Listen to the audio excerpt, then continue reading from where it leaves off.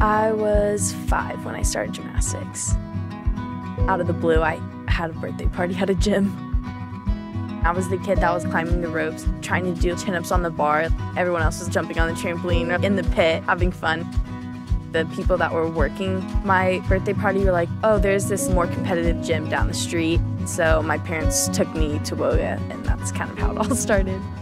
My coach told my mom she's not flexible, but we can give it a try. and that's something that always stuck with me. I had big dreams when I was little, level five, level six. And then when you start hitting optional age and you start learning more skills, for me it was do I want to take this as far as I can go or do I want to stay with my friends and do gymnastics just to do gymnastics?